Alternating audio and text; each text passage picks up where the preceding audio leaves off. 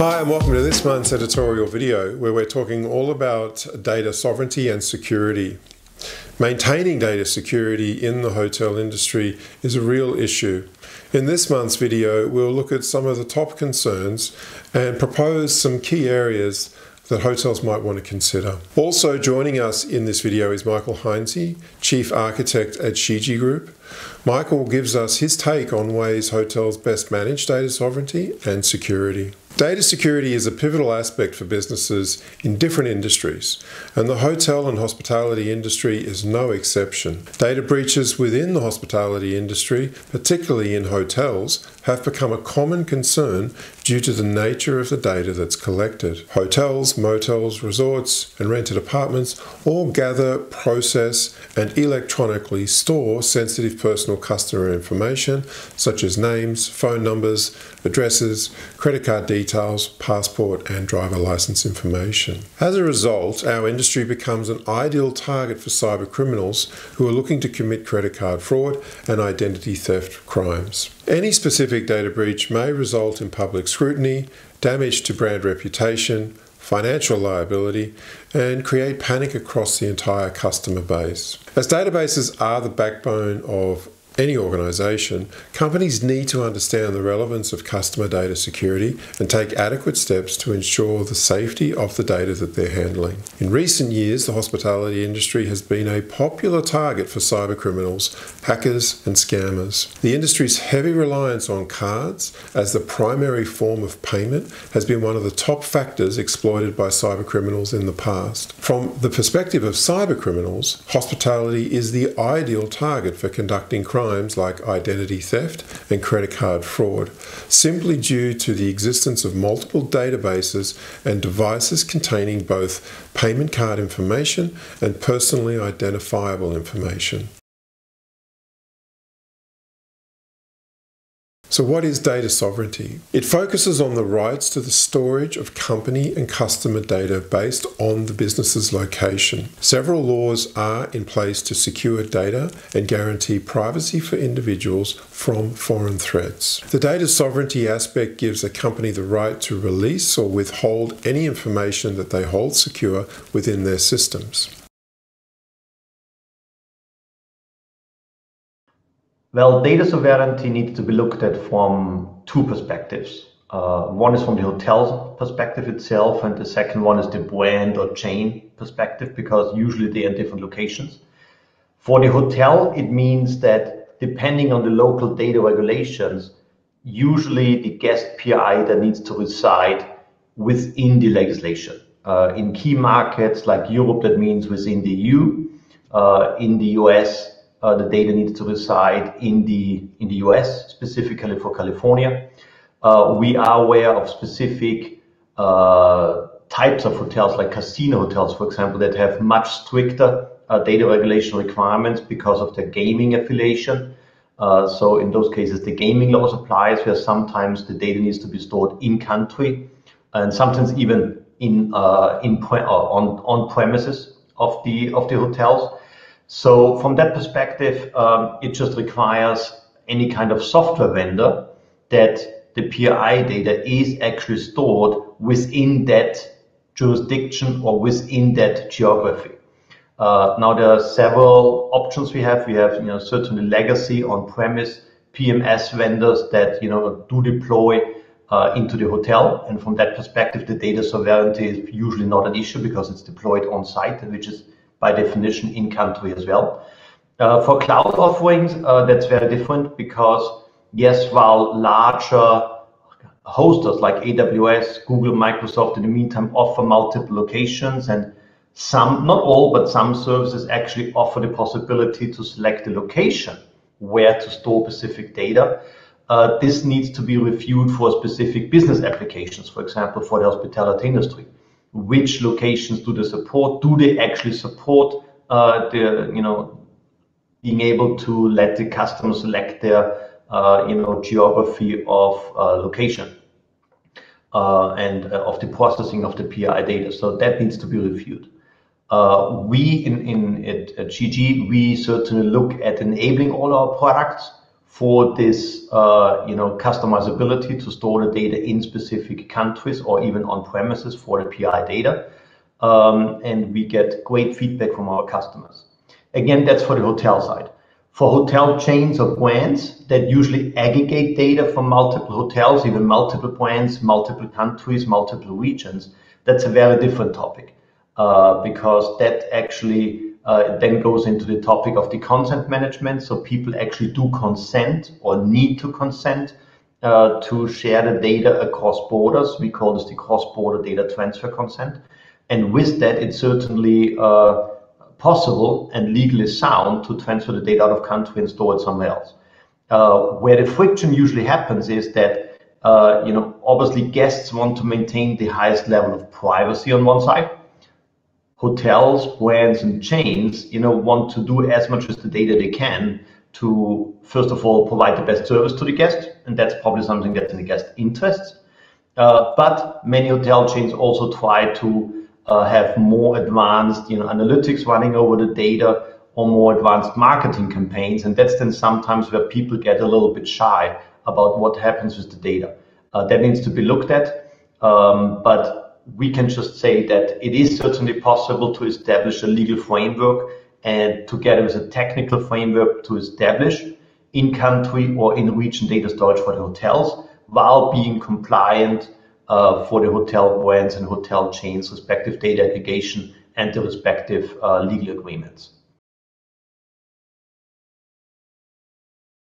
So let's run through some of the top security concerns within the hospitality industry. Businesses within the hospitality industry usually have complex ownership structures. These could be a franchisor, an individual owner, a group of owners, and even a management company that acts as the operator. They typically operate as a separate team, take on personal responsibilities whilst using different computer systems to share and store data. This information can also frequently move across those various systems, which then increases the potential data breach. Heavy reliance on electronic payment methods. Hotels and restaurants are heavily reliant on credit cards and other paperless electronic payment methods. They often require credit card details for reservations, and the final payment is typically made by the same card already on file. Cyber criminals tend to use this reliance on electronic cards to infect point of sale systems with malware, which then steals credit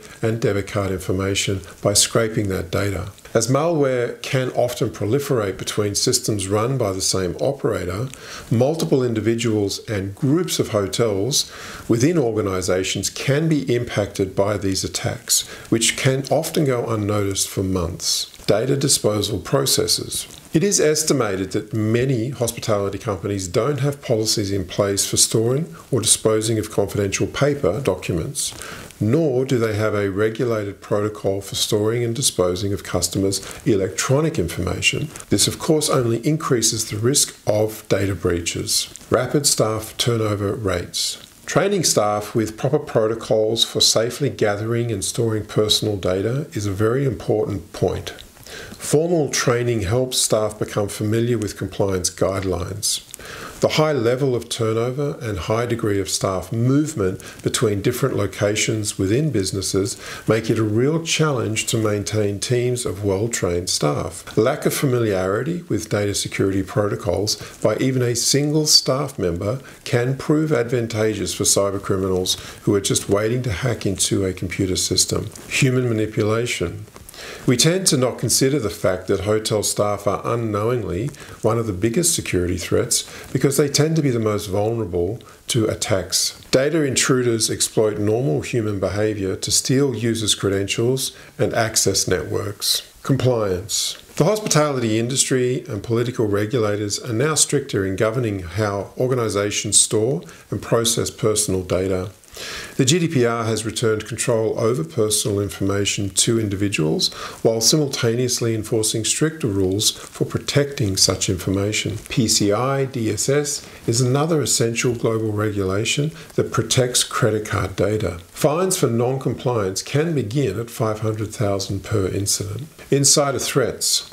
Although less common, the threat of company employees selling data to third parties without the knowledge of their employer is a concern for any business. Insider threats occur typically in areas like data on customer preferences and behaviors, which get collected at multiple touchpoints, right from interactions with a website to form data on booking systems and even review data. This data could be potentially lucrative when it ends up in the hands of those who know how to use it to gain a competitive advantage. In principle, I believe the situation today for many hotels is that they have an uh, you know on-premise product installed. Um, you know we have a, a, couple of usual suspects as vendors. Uh, they have local SQL servers at the hotels.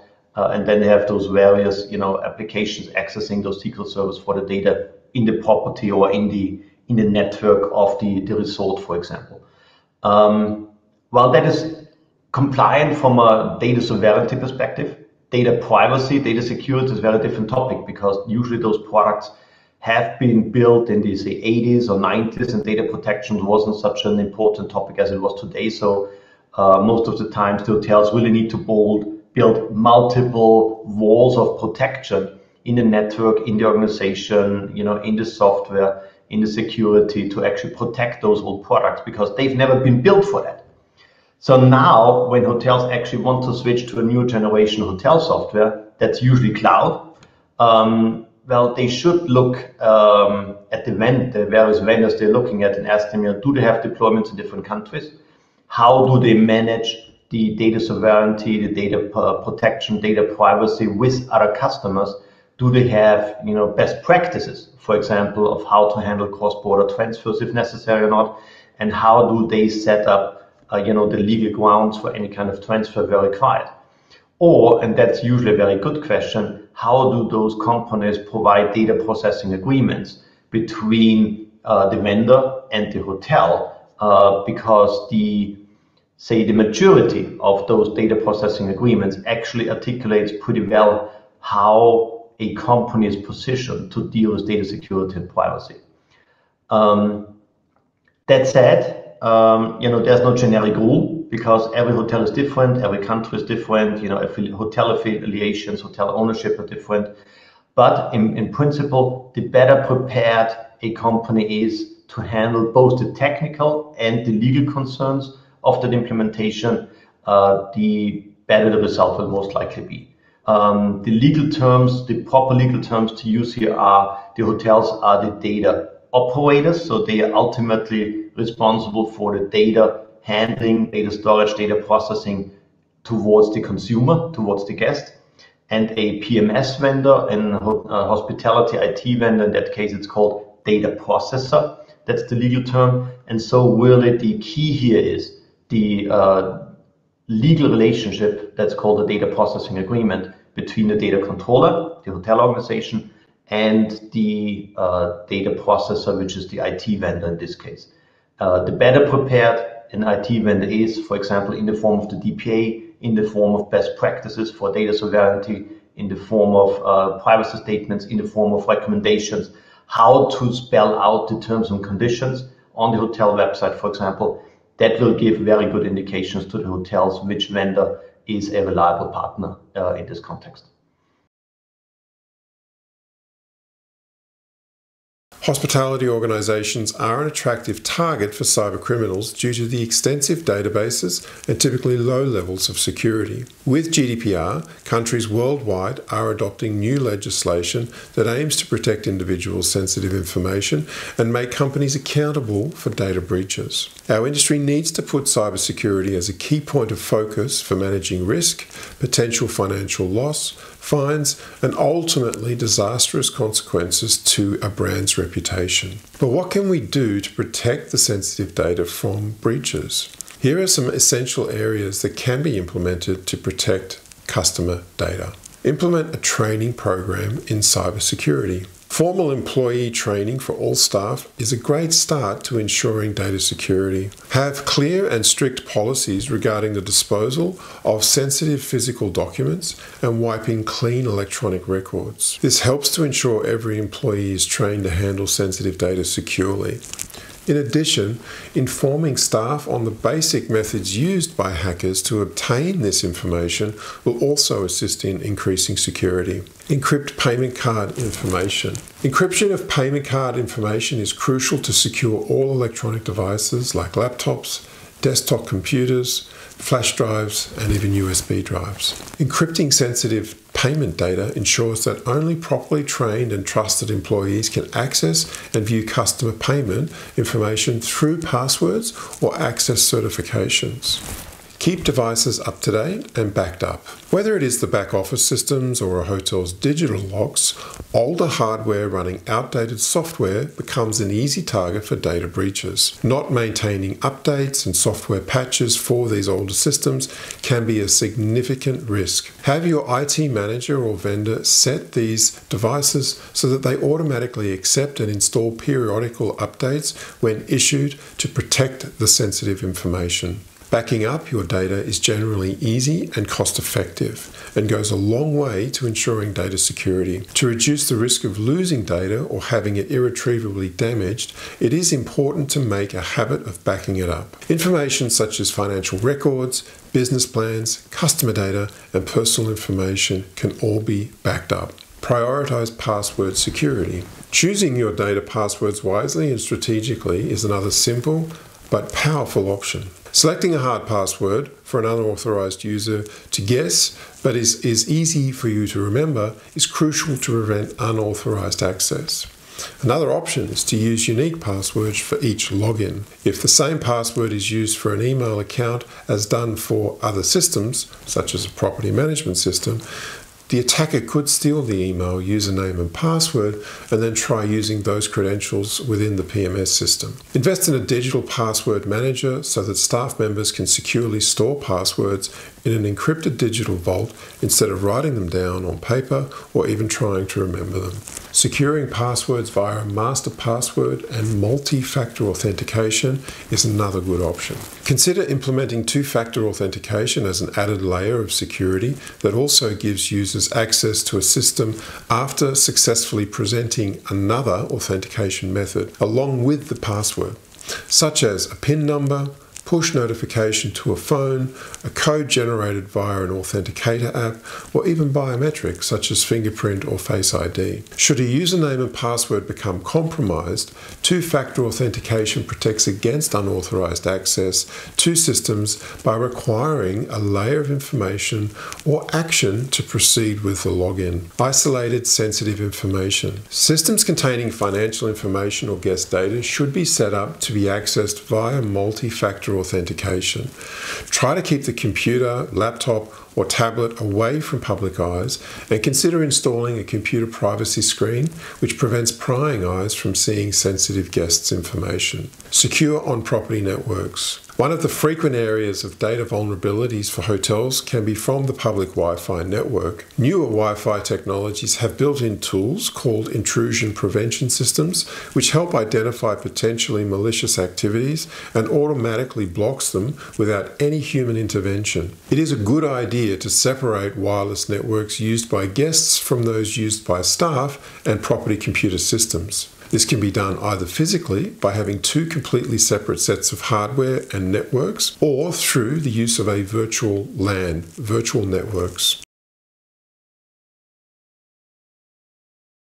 I do know that encryption usually is seen as you like, you know, the counterpart for data privacy. So basically, as soon as you encrypt something or everything, then you're kind of fine. It's not quite easy like that uh, in order to be fully compliant for those various uh, you know, data protection regulations and the respective uh, legal expressions like GDPR, CCPA, CSL, and so on and so on, uh, you know, a little bit diverging from country to country. You have a number of security controls. Uh, yes, encryption is one of those. Uh, and it just makes sure that if somebody takes a hard drive or something with them in a, some kind of physical way, that the data is not readable in that form. Uh, it also makes it a little bit harder for various, you know, network infiltration ways to extract the data. But it's only one of numerous uh, security controls. For those guys specifically interested in, in, encryption, there are two ways to protect the data. Uh, one is the encryption at rest. That's usually implemented through a so-called AES encryption. That's the latest data, and that's pretty standard anyhow for any software developer. Uh, the other way is encryption while in transit. That's like when data is communicated from to somewhere. Today, usually it's encrypted via HTTPS, and the protocol there's TLS. Uh, but again, that's pretty standard. So encryption by itself for any state-of-the-art vendor shouldn't pose any kind of challenge. Um, that's like built in all the frameworks and all the development and deployment and hosting frameworks. Anyhow, it's really the other dozens of security controls that affect general network, organizational, how to design the software and the processes to be secure, uh, not only against uh, you know hard network attacks, but also against social attacks, um, you know, and um, you know ransomware attacks, as we heard many times now in the news again in the last weeks, uh, and various other forms of attacks that need to be considered in a you know security strategy. In today's digital economy, companies in all industries face some sort of security breach, and ensuring the privacy and security of sensitive data becomes even more challenging, especially within the hospitality industry. As hotels continue to expand how they collect data from their customers, it is more important than ever to commit to securely managing all the collected data. By having a proper understanding of the importance of data security, hotels are better positioned to implement effective strategies to ensure the safety of customer data. If necessary, use outsourced services to help take the load off ensuring data security and confidentiality. It's only going to help you reduce cybersecurity risks. If you would like more information on GDPR and biometrics, make sure you check out our other editorials that cover these topics. So once again, thanks for watching. If you haven't already downloaded our app available on the Apple and Android stores, please make sure you do that. You'll be able to access all of our content uh, offline as well. So it's a, it's a handy way of getting access to our podcasts and our videos. Until next time, it's bye for now.